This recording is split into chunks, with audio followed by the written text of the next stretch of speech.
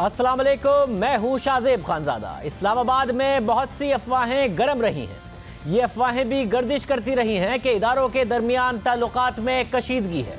गुजशत दिनों D G I S P R का बयान भी सामने आया कि यह बात बिल्कुल बेबुनियाद है कि हुकूमत से कोई इख्तलाफ है या इतफाक राय का फुकदान है। उन्होंने वजी अजम और आर्मी चीफ की मुलाकातें ना होने की खबरों को भी मुस्तरद किया।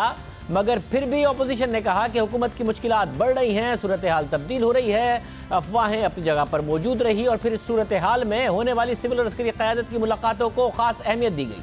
चार दिनों में वज़ीर अजम की आर्मी चीफ से आज दूसरी मुलाकात हुई है और इस मुलाकात के बाद भी अफवाहें अपनी जगह पर रही, मगर फिर उस मुलाकात के बाद वज़ीर अजम हाउस से एक एलामिया जारी हुआ, जिसके मुताबिक वज़ीर अजम ने लेफ्टिनेंट जनरल नदीन रजा को chairman joint chief of staff committee बनाने की मंजूरी दे दी है। उनकी तकरूरी का इतलाक 27 नवंबर से होगा। ये बहुत अहम तकरूरी है, मगर अहम बात यह है कि एक्सप्रेस न्यूज़ में यह भी बताया गया कि जनरल कमर जावेद बाजवा की दूसरी मुद्दत के लिए बतौर आर्मी चीफ तकरूरी का नोटिफिकेशन 19 अगस्त को जारी हो चुका है। इस पूरी सूरत हाल में वजी अजम इमरान खान से साथी और तजियाकार इर्शाद भट्टी ने मुलाकात की। जिस वक्त ये सारा कुछ हो रहा था, उस वक्त इर्शाद भट्टी वजी अजम से गालिबा मुलाकात भी कर रहे थे। हमारे साथ मौजूद है। भट्टी साहब, बहुत शुक्रिया। भट्टी साहब, ज़ाहिर कयास रही अपनी जगह पर होती रहीं। आज वन टू वन आपकी मुलाकात हुई क्या? वजी अजम से इस हवाले से आपने सवाल किया और आज जो तकरूरियाँ हैं और वो बहुत जो अफवाहें थी, उन, वो, उससे क्या दम तोड़ गई हैं और वजी अजम क्या कह रहे थे? जी, बिल्कुल, मैं वहीं था जब ये जन नदीम आए और उन्होंने, वो उनकी मीटिंग हुई और बाकायदा ये उन्होंने उनको आगाह किया। और उसके बाद मैं प्राइम मिनिस्टर साहब से मेरी बात हुई आर्मी चीफ पर भी। तो वो बड़े हैरान थे। वज़ी अजम बड़े हैरान थे। वो कह रहे थे कि मैं कुछ अरसे से बड़ा हैरान था कि हमारे मुल्क में भी अजीब सा सिलसिला चल निकला है कि आर्मी चीफ़ की और की तकर्री पर अफवाहें उड़ रही थी। वो कह रहे थे कि उनका कहना था कि जब मैं आया प्राइम मिनिस्टर बना तो पहले तीन महीने में मैंने डिसाइड कर लिया था कि जनरल बाजवा कमर जवेद बाजवा कंटिन्यू करेंगे मेरे साथ चीफ रहेंगे। उनका कहना था कि इनसे बैलेंस इस, इस इन जैसा बैलेंस आदमी बैलेंस जेन मैंने नहीं देखा आर्मी में। इतना डेमोक्रेट नहीं देखा आर्मी में। और दूसरी बात है कि मेरी बल्कि उन्होंने एक फ़िक्रा कहा कि मेरी जो अपने एक्सपीरियंस और अपनी ज़िंदगी का मैं अगर किसी को बेस्ट चीफ कहूँ तो वो जनरल कमर जवेद बाजवा हैं। और करतारपुर से वाइट हाउस तक बहुत सारे जो काम हैं और बाहर के मुल्कों के यूई कतर, सऊदी अरब मीशत के हवाले से इंटरनल सिक्योरिटी एक्सटर्नल सिक्योरिटी जिस तरह वो ऑल आउट गए हुकूमत के लिए और जिस तरह किया है। अगर वो ना होते तो मैं इतना फॉर खारजा महाज पे और अंदरूनी तौर पे इतना हम हम काम ना कर पाते। और मुझे फ़ख्र है कि वो मेरे आर, आर्मी चीफ़ हैं और ट्रू सोल्जर हैं और वो कंटिन्यू कर रहे हैं और एक्सटेंशन का मामला कब का उनका हो चुका है। लेकिन इस पर भी वो कहते हैं कि अजीब व गरीब अफवाहें उड़ रही थी और हम तो इंजॉय कर रहे थे कि ये क्या सिलसिला चल रहा है। मतलब आपकी बातों से लग रहा है कि वज़ी अजम बड़े मुतमिन हैं बड़े कम्फर्टेबल हैं आपने पूछा नहीं कि अभी पिछले दिनों तकरीर करते हुए फिर आप इतने गुस्से में क्यों आ गए थे? फिर आपने चीफ जस्टिस से भी मुतालबा कर दिया अपोजिशन पर आपने इतनी तनकीद की। और बड़ी साहब, बिलावल भुट्टो जरदारी की नकल तो मैंने आपको उतारते हुए देखा था। वजी अजम बिलावल भुट्टो की नकलें उतार रहे थे, जितनी तेज़ी से माशाल्लाह आपने तरक्की की है। हमें लगा आप एक दिन वजी अजम बनेंगे वजी अजम इर्शाद भट्टी बने हुए थे। आपने कहा कि इतने गुस्से में क्यों थे जब सब इतना अमन है? आपने बड़ा मज़े का सवाल पूछा। अब मुझे ये नहीं पता कि इसमें मेरे लिए दुआ थी कि एज़ यूजल मेरी इज़्ज़त अफजाई थी। लेकिन बात यह है कि मैंने पूछा। आज अच्छा एक मज़े की बात बताऊँ। वज़ी अजम बहुत रिलैक्स थे, बहुत कॉन्फिडेंट थे और यानी वो बात बात पे कह के लगा रहे थे और खुश थे। बल्कि आज कॉफ़ी पिलाई उन्होंने, बिस्किट्स खिलाए उन्होंने। और जब ये जब ये सवाल आया तो मैंने उनको कहा कि मुझे एक बात बताएँ। मैंने कहा कि आप मोटर, हज़ारा मोटरवे पे अफ्ताह करने गए। तो आपने वहाँ मैंने कहा, एज ए इमरान खान पाकिस्तान तरीके इंसाफ के चेयरमैन इमरान खान मैं मान जाता हूँ कि आपने जो कुछ, जिस तरह की तकरीर की। लेकिन एज ए प्राइम मिनिस्टर आपने जो तकरीर की, वो ऐसे करनी चाहिए थी। उन्होंने कहा, क्या? मैंने कहा जो आपने बिलावल का कहा, बारिश, जब बारिश आटा है तो पानी आटा है जब ज़्यादा बारिश आटा है तो ज़्यादा पानी आटा है ये और मौलाना साहब को डीज़ल और शबाज शरीफ साहब को जन, जिलानी का सर्वे सरिया पहुँचाने वाला और मौलाना को कश्मीर कमेटी के चेयरमैन पे और पैसे लेके फतवे देने वाला। अच्छा उन्होंने कहा कि ये बताएँ कि बिलावल की कितनी हो गई है सियासत? मैंने कहा, दस साल हो गई और एक साल पार्लिमानी होगी। कहते कभी कोई सियासतदान जिस, जो बारह साल से सिंध में हो, वो कह सकता है कि इस तरह जब तीस बंदे मर जाएँ करंट से और वो, और गवर्नेंस का बुरा हाल हो तो वो कह सकता है कि इतनी आसानी से जब बारिश आता है तो पानी आटा है, जब ज़्यादा पानी आटा है तो ज़्यादा बारिश आटा है। मैंने कहा एग्रीट तो कहते हैं, मौलाना साहब, कश्मीर कमेटी पे नहीं उन्होंने सौदाबाजी की, मैंने कहा एग्रीड जनरल जिलानी कहते हैं शरीफ बरदरान के नहीं थे बड़े, मैंने कहा एग्रीड तो फिर कहते हैं मसला क्या? मैंने कहा प्राइम मिनिस्टर ऑफ़ पाकिस्तान का मसला है कि प्राइम मिनिस्टर ऑफ़ पाकिस्तान ये बात कर रहे थे। कहते हैं, ठीक कहते हो कि मुझे नहीं करना as a prime minister of Pakistan नहीं करनी चाहिए थी। लेकिन कहते हैं, जो कंटेनर से मेरे बारे में ज़बान इस्तेमाल की गई, जिस तरह मुझे मेरी ज़ात को अटैक किया गया, मुझे यहूदी एजेंट बनाया गया, मुझे इस्लाम से खारिज करने की कोशिश की गई, इस्लाम ख़तरे में है तहफ़ नमूस रिसालत ख़तरे में है, ये वज़ी अजम को जाके हम गिरफ़्तार कर लेंगे, ये कुटपुतली, ये सिलेक्टेड ये न्याजी ये जड़ें कटी गई ये फलाना हो गया। तो वो मैंने कहा सर यही तो है कि अब आप you are a prime minister of Pakistan आप पूरे पूरे मुल्क के हैं अब बड़े हैं तो अब आपको इसका कुछ तो लेना चाहिए। कहते इस बात पे मैं एग्री करता हूँ कि मुझे नहीं कहनी चाहिए लेकिन क्या करूँ मैं मुनाफ्त नहीं कर सकता। मैं बहुत गुस्से में था। अं, अंदर बहुत था और अंदर बहुत गुस्सा था जो मैं निकाला लेकिन अब मैं इसकी मैं अब ने मैंने सोचा है कि आइंदा ऐसी ज़ुबान आइंदा ऐसी तकरीर नहीं करूँगा और ऐसे क्योंकि ऐसे डायरेक्ट उन, नहीं करूँगा, इस कन्वर्सेशन में नहीं पढ़ूँगा।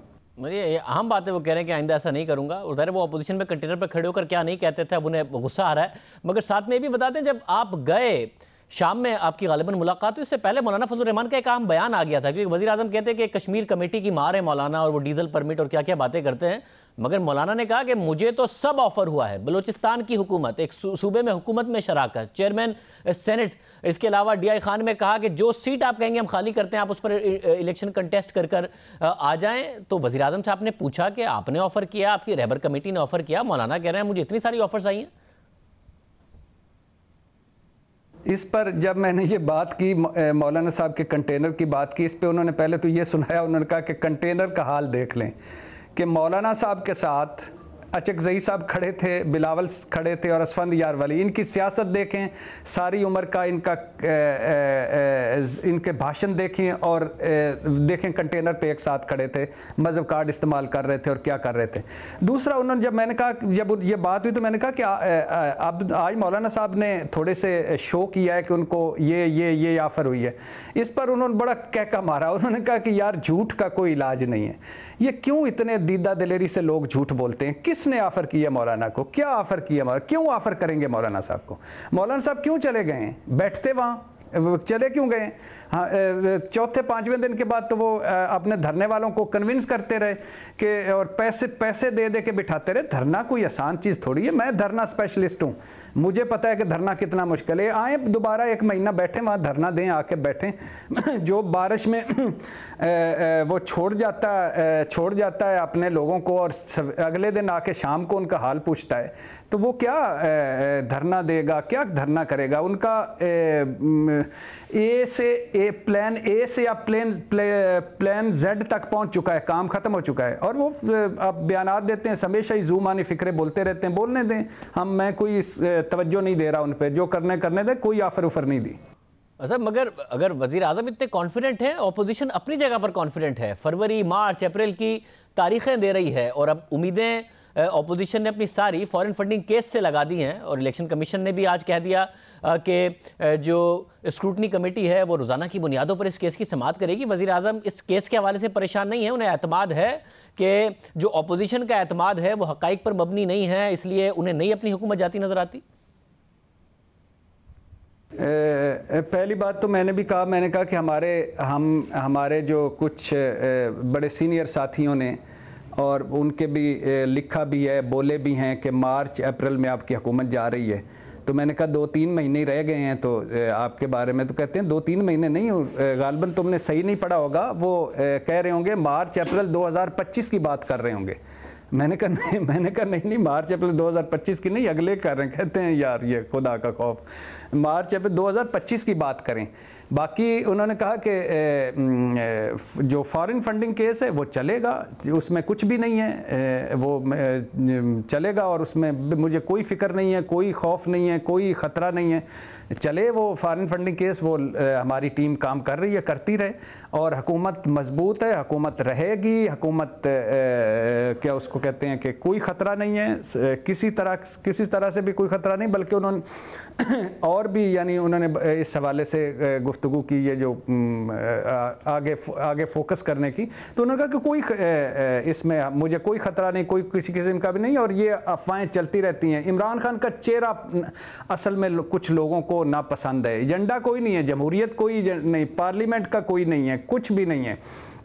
या कोई मुल्क की किसी को कोई फ़िक्र नहीं है, या कोई और चीज़ कोई फ़िक्र नहीं ये सिर्फ़ मेरा चेहरा पसंद नहीं है, और उनको अभी मेरा कोई तीन, साढ़े तीन साल और चेहरा बर्दाश्त करना पड़ेगा।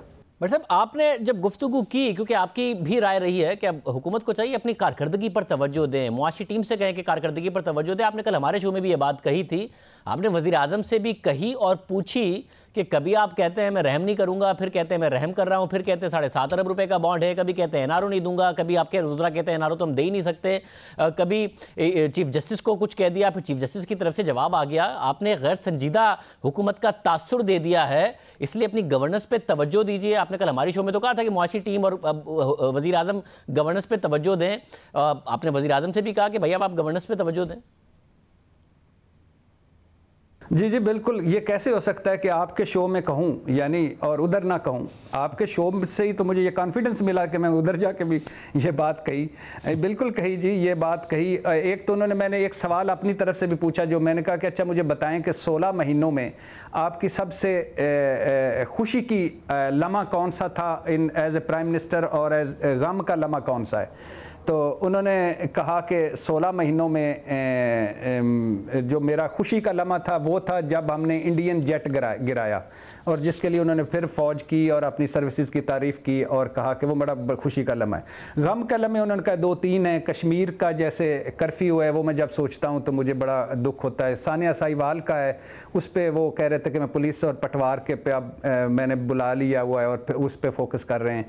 इसके अलावा जब आदमी, आम आदमी का मैं सुनता हूँ, महँगाई का तो उस पर मुझे बड़ा दुख होता है। और अब उन्होंने कहा कि ये जो करप्शन नेरेटिव है, मेरा रहेगा, मगर मेरा फोकस अब उन्होंने कहा है कि मैं डाइवर्ट कर दिया है जो होप बास्केट जो मेरी होप बास्केट है। तीन उन्होंने कहा कि मैं काम मैं चाहता हूँ कि जब मैं जाऊँ तो तीन का 2025 में जब मैं जाऊँ तो तीन काम करके जाऊँ।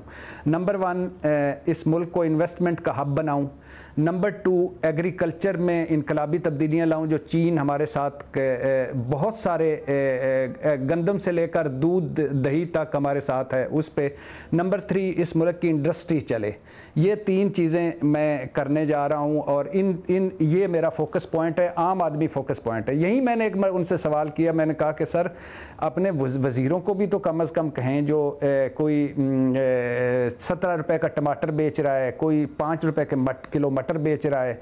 कोई कह रहा है, एक एक रोटी ना खाएँ दो रोटियाँ ना, दो रोटियों के बजाय एक रोटी खाएँ। कोई कह रहा है कि ज़रा गीज़र लग्जरी आइटम है। तो ये मैंने कहा, ये ये क्यों, ये आवाम के लिए कुछ उन्होंने कहा कि, बिल्कुल सही कह रहे हो।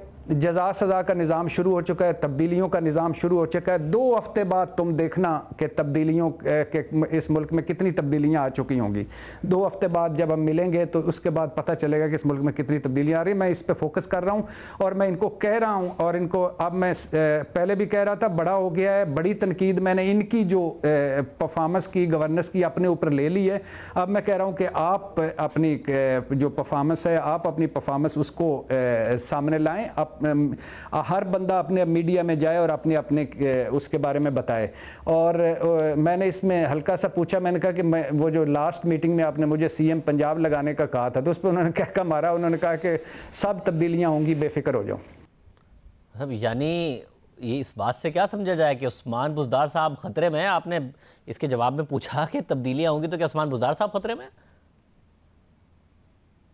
यानी ये नहीं मुझे, ये बुजदार साहब के बारे में फिर उन्होंने आज तारीफ़ की है कि वो करप्ट नहीं है, ईमानदार आदमी है बहुत सारी चीज़ें हैं जो ब्यूरोक्रेसी तावन नहीं उसके साथ कर रही और ये नहीं कर रहे, लेकिन उन्होंने इस पर यह नहीं कहा कि मैं बदल रहा हूँ।